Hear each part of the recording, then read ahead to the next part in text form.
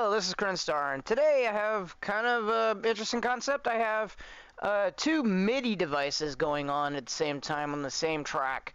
I have Melody Sauce playing in the normal register, and then I have uh, Reason playing uh, low, um, bassy type of uh, notes. And uh, basically, this is what I get.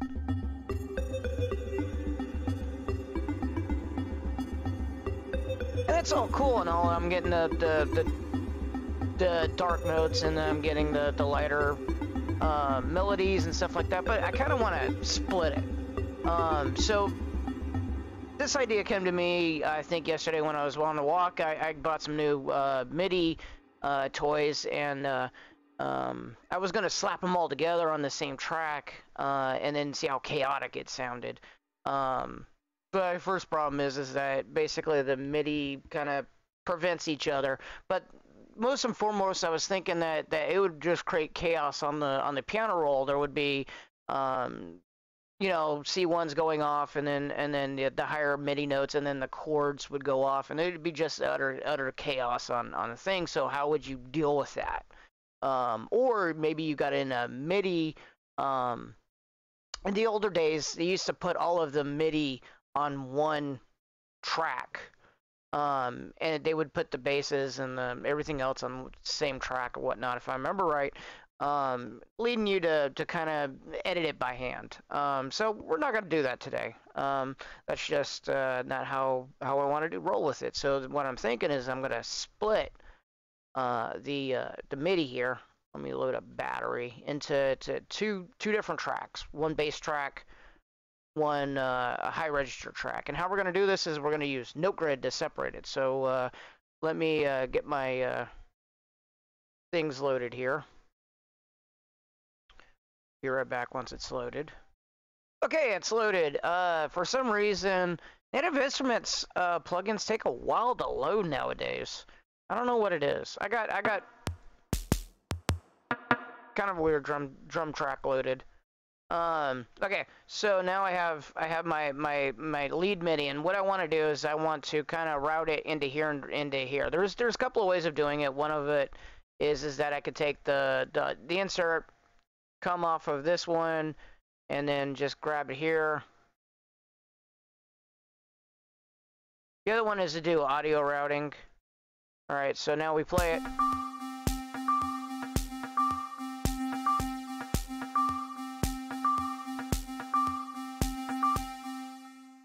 Sounds kind of cool on, on its own.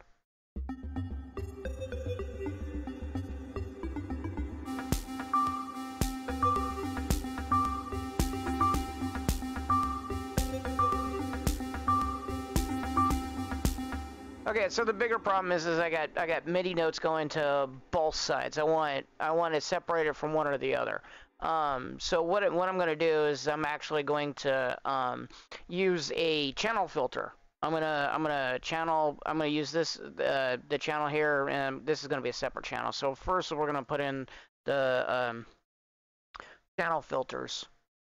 So we're gonna say for this one I want only channel two. and this one, I want only channel 1.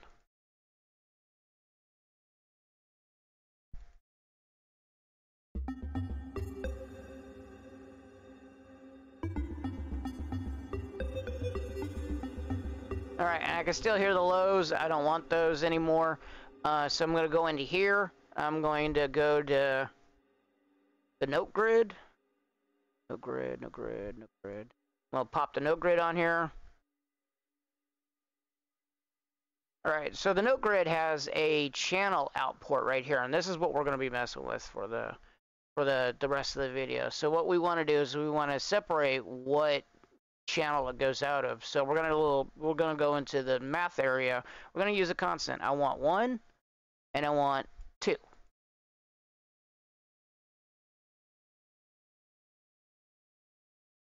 probably could have used the the number. Okay, so now I got I got two constants. I'm gonna I'm gonna read it into here, and I want um I want either a toggle or a select. I think a select probably would do it. So I want to go, okay, so if, if one, the other, and then boom. We got we got we got this. And now we have to select. So one of the ways you can do it is is like doing the the um using a button. So um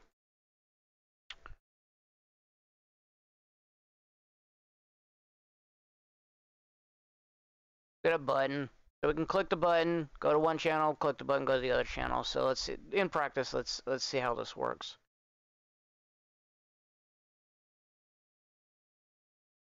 Close this. Grab both of these again.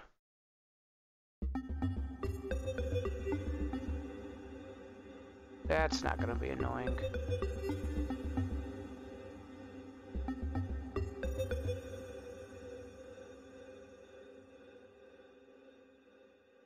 Alright, I, am not really liking or enjoying the having to, to, to put my thing on there, so oops, let's, let's go to all. What we're to do is we're to um, change it. I'm to use the note um, receiver. I'm to say we're coming from Melody Sauce. Actually, note grid. Same thing over here, note receiver.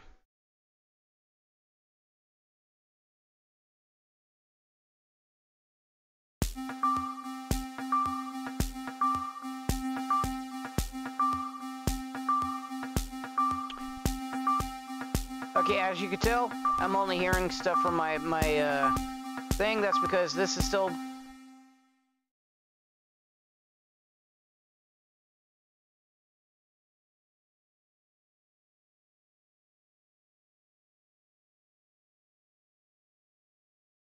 So I'm receiving notes.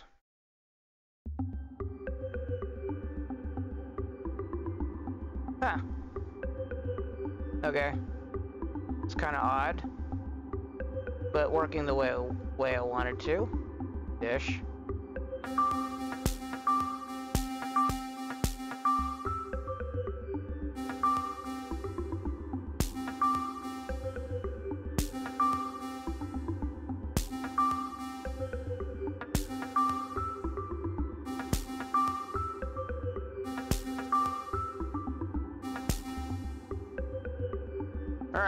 We can get a little funky with this.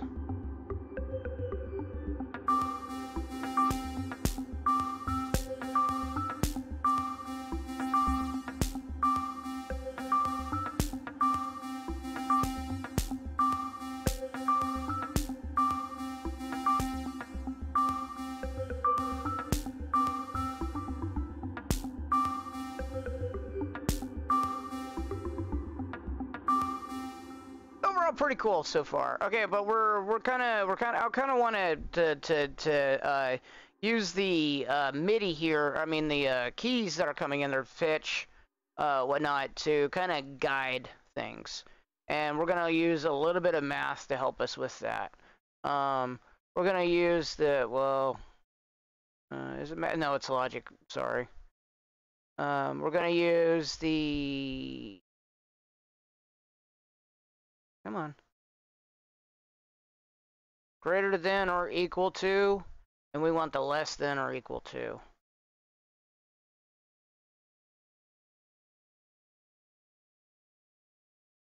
Okay, and then what we're going to say is we're going to say if it's greater than, um, let's say C2. Actually, we don't even need that. We, we can just do it with 1 right now let's say if we're, if we're greater than C2, so let's grab our pitch, let's do the constant, and then let's knock it down to C2, and say that if it's greater than C2, throw throw this down there. So now it should route all of the the stuff to um, the uh, the the first constant.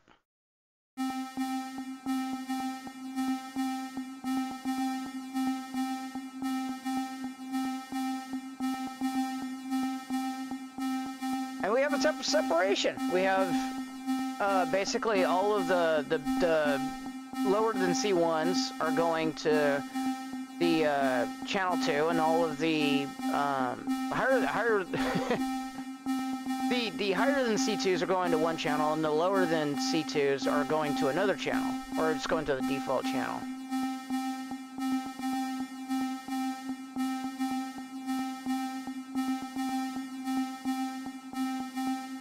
The bigger problem is is that I think that it's it's not um,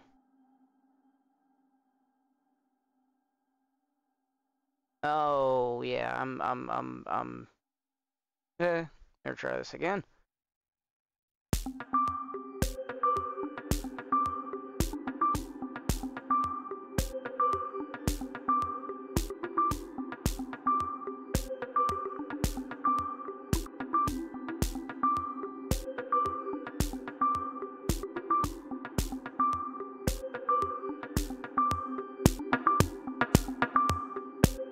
We go. Okay, so this is uh, taking off voice stacking, which means I think it can only do one instance at a time, even though we got number of voices. But if we go on there, you're hearing the rest of the MIDI notes come through because this should be playing more than just the bass drum.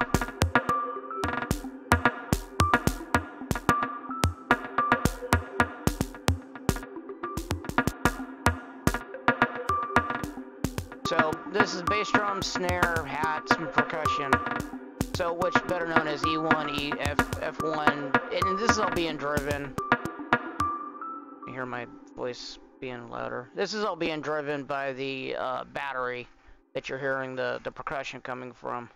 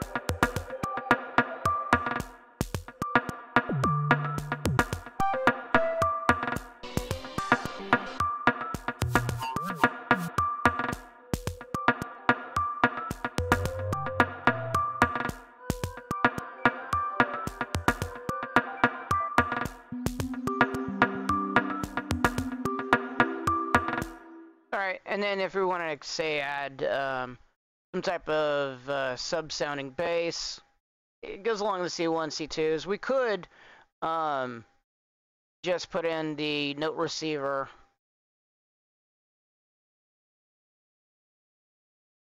and then the note um, or the, the channel filter. And then since we're looking for the lows, we want to put it on, I think it's two.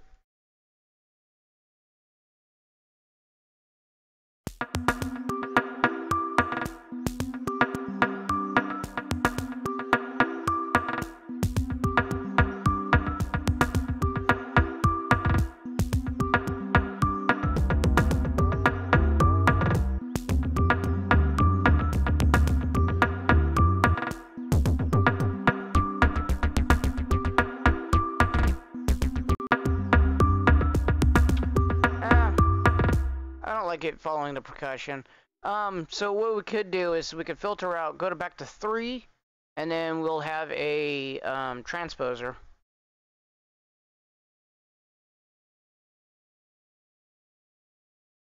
Put it after the filter, and then we'll knock it down two octaves.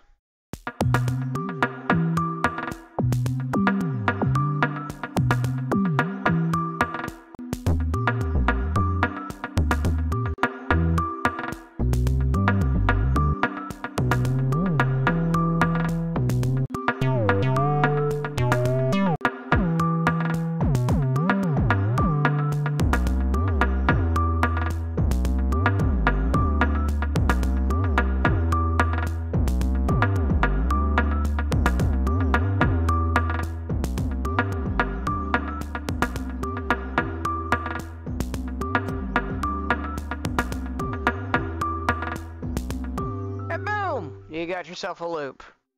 Um, so, any rate, uh, like I said, I was I was thinking about it. A couple of MIDI devices going on the same track. How would we separate them? Um, pretty easy. You just uh, put in a little uh, separator here in the note grid. Boom, you got you got yourself uh, a separation. There are, of course, other ways in Bitwig to do it. Um, this one I was just thinking about it uh, the other day, so I wanted to show it off. Anyway, uh, thanks for watching, and I hope uh, you enjoyed it. And I will see you in the next video.